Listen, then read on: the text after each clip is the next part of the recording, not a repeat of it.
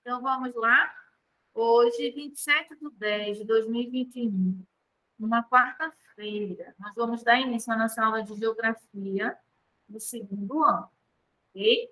Então, vamos lá, turminha. Bom dia, né? Primeiramente, bom dia para vocês. E vamos iniciar a nossa aula. Na página 4 do nosso manual, vem falando sobre solo, a superfície em que vivemos, certo?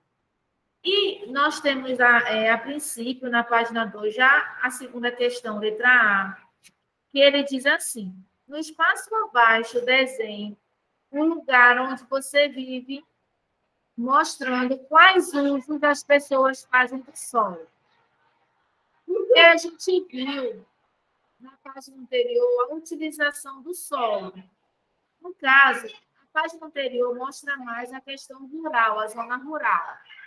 E nós, ou pelo menos a maioria, moramos aqui na zona urbana, que é a cidade. Mas nós também, aqui na zona urbana, fazemos uso do solo. Não é? De que maneira? Né? Construindo as residências, construindo os comércios, utilizando esse solo para locomoção, seja a pé, ou seja através de veículos, se utiliza também aqui na zona urbana esse solo para plantio. Mesmo estando na zona urbana, existem alguns lugares mais afastados um pouquinho, dentro da, do perímetro urbano, que tem pessoas que fazem plantio, né? que plantam alimentos. Por exemplo, ali mesmo, é, que eu prestei atenção, ali próximo ao Pelotas, Paulista, tem algumas áreas, não é, que elas eram áreas é, que não eram asfaltadas, era solo mesmo. E aí algumas pessoas fizeram plantios ali, sabe de quê? De banana, que são as bananeiras, de acerola, pé de acerola, é, macaxeira, então, dentro do perímetro, dentro do urbano, dentro da cidade, não é? em áreas ainda movimentadas, porque essas são áreas movimentadas por veículos e por pessoas, é, existe o uso desse solo no plantio, tá? Para a gente poder perceber ou não, assim, só achar que o plantio de alimentos vai ser unicamente, exclusivamente da zona rural. É onde predomina. Mas aqui dentro do perímetro, dentro do perímetro urbano, existem algumas áreas que também se faz plantio, lógico, num porte menor, né? ou seja, uma quantidade menor, às vezes só para subsistência, só para o consumo ali da família, mas tem, tá bom? Então, vocês vão fazer um desenho referente a esse assunto e pintar, deixar bem colorido. Na página 5, na letra B, lá em cima, diz assim: anote nas linhas a seguir quais são esses usos. Pronto, é o que eu falei. A gente utiliza esse solo aqui na zona urbana, não é? Para é, construções de residências, sejam elas casas ou apartamentos, que são os prédios. A utilização da rua para locomoção, seja ela a pé ou através de alguns meios de transporte, tá? Na página 5 ainda, na primeira questão, quando nós temos brincando com a cartografia, nós temos uma imagem, não é, onde me mostra vários estabelecimentos. A princípio, a escola Mundo Mágico, que é o que a gente sempre vê nas nossas, nas nossas tarefas, mas nós temos também a faculdade, uma associação industrial, um estacionamento, um clube e a escola Mundo Mágico, certo? Quando a gente vem para a página 6, na letra A, lá em cima, nós temos assim: a foto que mostra a escola Mundo Mágico está na imagem frontal, oblíqua ou vertical. Lembra quando a gente viu lá na nossa primeira unidade essas três visões? E quando a gente olha aí a visão da página 5, não é? Que é uma visão de uma quadra, tá? Lembra quando a gente viu também essa questão de quadra em termos de perímetros, de cartografia? quando ele me mostra essa imagem que eu tenho na página 5, ela está em que visão? Frontal, oblíqua ou vertical? Na vertical, não é isso? Por que vertical? Porque eu consigo observar ela de cima para baixo, ok? Na letra B, ele me diz assim: observe novamente a imagem e faça o que se pede de acordo com as orientações do seu professor. Aí nós temos aí, localize e marque com um X na cor vermelha o topo do prédio da escola. Você vai voltar lá na página 5. Vai observar onde está a escola e vai, ó, marcar um X na cor vermelha. Localize e marque com um X na cor verde outros elementos que fazem parte da escola, como a quadra de esportes. Vocês vão localizar a quadra de esportes nessa imagem e vão fazer um X na cor verde. Ok? Já na letra C, você vai escrever nas linhas abaixo os usos do solo que aparecem em volta da escola.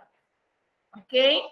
o que é que aparece ou o que é ele pede para a gente fazer em relação à imagem. Eu vou pedir para vocês escreverem o que aparece em relação ao uso do solo, em relação à nossa escola. A escola Calão. O que é que nós temos em volta da nossa escola, onde se utiliza o solo? Pensa aí para poder escrever, ok? Tá? Pensa aí. Letra D. Agora que tal fazer um desenho na visão vertical? Escolha um objeto e coloque sobre sua carteira. Fique em pé e olhe-o de cima e desenhe no espaço a seguir. Para vocês que estão em casa, no espaço que vocês estão aí, né, tendo as aulas estudando, vocês vão pegar um objeto que pode ser esses objetos que vocês utilizam no dia a dia para assistir às aulas, no estojo, lápis, borracha, computador, talvez uma garrafa de água que tenha aí na mesa, o próprio é, manual ou caderno, enfim, o que vocês tiverem aí próximo de vocês como material escolar, tá? Para ficar mais prático. Vocês vão pegar, colocar sobre a mesa de vocês, se ainda não tiver, e visualizar eles de cima para baixo. Vocês podem se levantar e olhar para ele e ver o que, que vocês estão visualizando ali. Quais são os detalhes que vocês conseguem observar diante desse objeto? E aí você vai escrever melhor, você vai desenhar nesse espaço que tem aí da letra. Tá certo? Na página 6, na página 7, nós temos aí como tema problemas causados pelo mau uso do solo. A gente sabe que se o nosso solo for mal utilizado, ele vai é, se tornar um solo pobre. O que é um solo pobre? É um solo sem recursos minerais, é um solo que vai ser aquele solo ressecado, pobre de água, não é? Onde é, os minerais estão muito escassos pelo mau uso dele. Vai ser um solo muito rígido, onde é, o que se plantar não vai é, brotar, não vai florescer, não vai procriar, então se torna um solo pobre, um solo de mau uso. Aí nós temos aí duas imagens. Né? Essa primeira foto, onde tem escrito assim, o que é isso? é lá do início da nossa unidade, quando eles chegaram no sítio e ficaram observando as fotos. Nós temos assim, o Pano achou muito interessante sua irmã fazer essa pergunta, que é essa pergunta, o que é isso? Pois ele também queria que o tio lhe falasse sobre a área da imagem que estava sem vegetação. Aí ao lado nós temos essa imagem ampliada tá? Que onde ela está apontando é uma, a imagem ao lado ampliada. Quando ele fala na primeira questão, o que essa, essa área pode ser? Quando nós observamos aí na imagem ao lado que a maioria dela tem a cobertura vegetal, certo? Tem, tem um verde, né? Assim, tem as plantações, que é a cobertura vegetal. Mas nós temos alguns pontos que ele não tem essa cobertura vegetal, que está o solo aparente. O solo está exposto. Essas, ima essas imagens onde o solo está exposto, você acha que é por quê? O que foi que aconteceu ali que esse solo está exposto? E aí? Isso aí é uma área desmatada. Por alguma razão, não é? Essa área foi desmatada. Ou para a criação de pastos, ou para a criação de é, plantio de algum alimento, ou para a construção de alguma residência ou algum espaço que eles possam fazer uso para armazenar os materiais que são necessários e algumas ferramentas para poder cultivar esse solo, certo? Mas, no geral, a gente pode colocar que são áreas desmatadas, certo?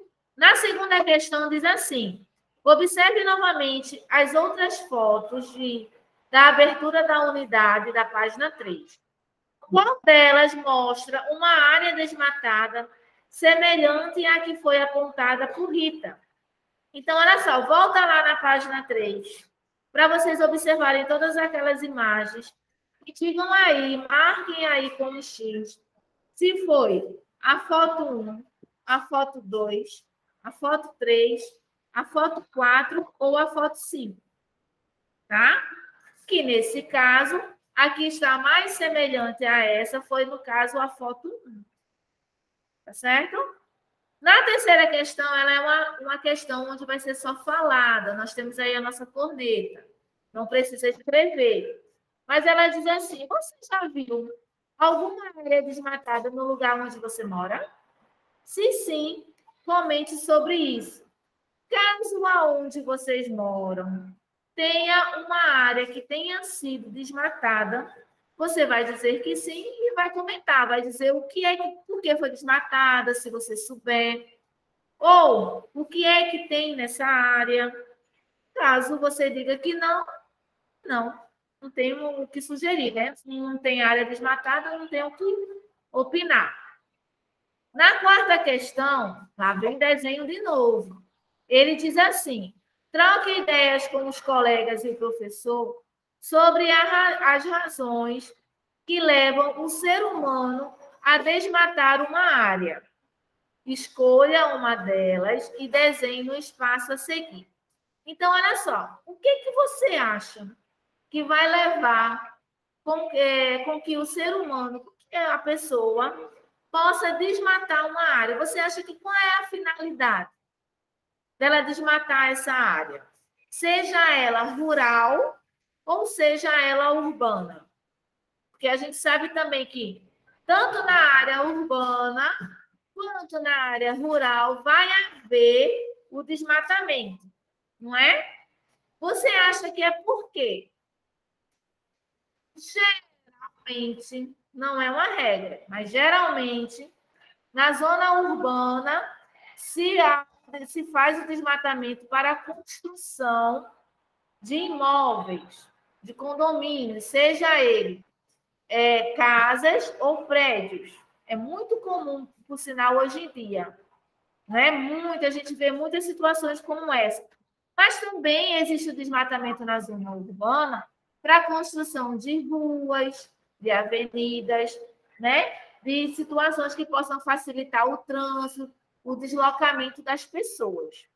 Já na zona rural, se é muito utilizado o desmatamento para é, o cultivo de plantações, tá?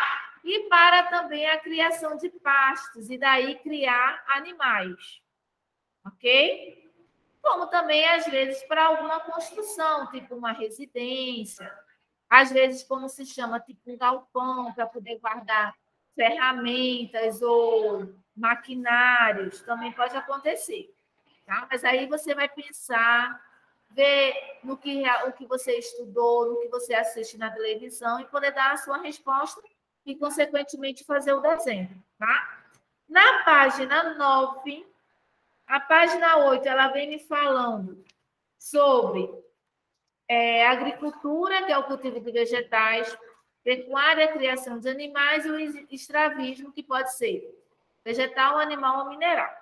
Baseado-se nisso, a gente vem para a página 9 e na quinta questão diz assim: Vamos. Deixa eu ler o textozinho que tem em cima que diz assim: Tio Luiz entregou ao sobrinho uma folha com algumas imagens. É, ele partiu, ele pediu, desculpa, ele pediu ao menino que observasse bem cada uma delas e tentasse descobrir quais problemas ambientais estavam sendo retratados. Aí nós temos aí, na quinta questão, nós temos assim: vamos, vamos descobrir também quais são alguns desses prejuízos. Letra A, descreva o que você vê em cada uma das imagens abaixo. Nós temos aí quatro imagens. Na primeira imagem, nós temos o quê? nós temos o lixo sendo despejado, descartado, jogado fora, em um ambiente que não é o adequado, em um ambiente que não é o propício. Ele está sendo jogado, né, desper, é, descartado diretamente aonde? No sol. Não é? E a gente sabe que esse lixo vai causar prejuízos para esse solo. Além de não ser um lugar adequado, porque vai atrair é, alguns animais e insetos, e daí causar doenças à, à população, né? As pessoas que podem estar morando ali próximo, vai estar prejudicando o solo, tá? Porque esse lixo ele vai soltar um líquido que se chama chorume, e esse líquido vai é, prejudicar esse solo podendo até, dependendo da quantidade, chegar ao lençol freático e, de uma certa forma, haver a contaminação da, do lençol freático, que são as águas mais profundas, certo? Então, o que, que a gente observa aí nessa imagem? Que o lixo é, está sendo descartado de maneira incorreta. E esse lixo, detalhe, que esse lixo é o lixo doméstico. Não é lixo industrial. Esse que mostra aí na imagem é o lixo doméstico, é aquele lixo que nós produzimos na nossa casa. Né? Que são o lixinho da cozinha, que são as sobras de alimentos, o lixinho do banheiro, o lixinho de embalagens que a gente utiliza e descarta, tá? É esse lixo, o lixo doméstico. Na imagem ao lado, nós temos o quê? nós conseguimos observar alguns animais, que no, no caso aí são gados, são os bois, bois e vacas. Né? E a gente consegue observar o quê? Eles no pasto. Não é? Eles se alimentando, tem alguns aí, ó, se alimentando dessa graminha, né? Desse pasto. Mas para chegar a esse pasto, foi necessário o quê? Que fizesse o quê? Isso aí que fizesse, que causasse, que é, tivesse ocorrido o desmatamento. Lembra que a gente já viu isso lá atrás? Que para poder fazer, para poder ter o surgimento do pasto para a criação de animais, foi feito que? O desmatamento, tá? De alguma cobertura vegetal, às vezes de uma pequena floresta, ou de uma cobertura vegetal mais é, ampla, né, mais fechada, foi necessário fazer o desmatamento para a criação é, do gado e, naturalmente, o surgimento dos pastos. Tá? Na imagem 3, que é essa primeira imagem abaixo da, do lixo, né, desse solo que está sendo contaminado pelo lixo, nós temos o quê? Uma estrada. Nessa estrada, nós conseguimos observar o que nela? Uma erosão, um desmoronamento, não é? A gente observa uma cavidade, um buraco nessa estrada. O que será que aconteceu isso? E aí? A gente sabe que o desmatamento ele não vai só é, acontecer por conta da criação é, da zona urbana ou a criação de plantios e a criação do gado. A gente sabe também que vai surgir o desmatamento para o surgimento de estradas. Então, o que, que aconteceu aí? Houve, primeiramente, um desmatamento, não é? Para poder se passar essa estrada, mas para causar essa erosão, esse buraco, né, como se é mais conhecido, provavelmente não foi uma terraplanagem bem feita, e com o excesso das chuvas, a gente sabe que vai causar esse tipo de situação. Tá? Então, houve primeiramente o desmatamento, consequentemente, uma terraplanagem mal elaborada, tá? onde veio a chuva e causou essa erosão, certo? Na última imagem, que é essa que tem os animais e uma floresta pegando fogo atrás deles, o que, que a gente pode colocar aí? O que, que a gente consegue analisar, observar nessa imagem?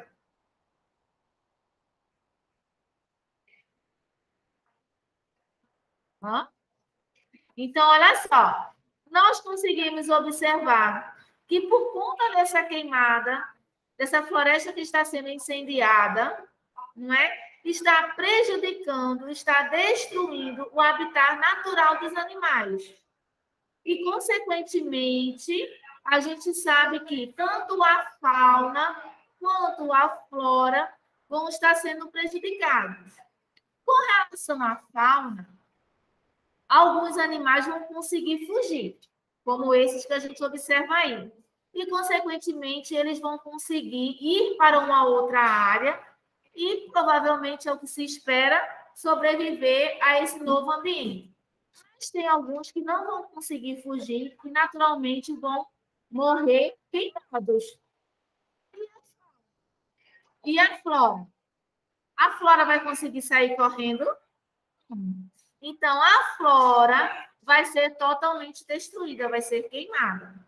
Se esses animais moram nesse habitat, nesse ambiente, nesse local, e esse fogo acontece, seja de forma proposital ou não, que a gente não tem como julgar aí nessa imagem, vai acabar destruindo o habitat natural deles. Ok? Nós temos na página 10 a letra B, que vai ser uma resposta em relação à, à página 9, que diz: relacione cada foto ao prejuízo causado pelo desmatamento retratado nela. Veja a numeração de cada problema no quadro abaixo e escreva o número correto no quadrinho dentro de cada imagem.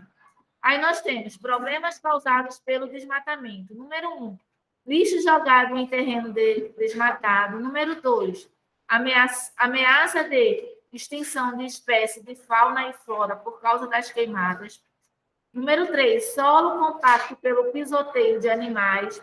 E número quatro, degradação do solo, certo? Então, nós vamos colocar na página 9, com relação às imagens e com relação a essa numeração dentro da descrição, na primeira imagem, 1, na segunda, 3, na quarta, na terceira imagem, 4 e na quarta imagem, número 2, tá certo?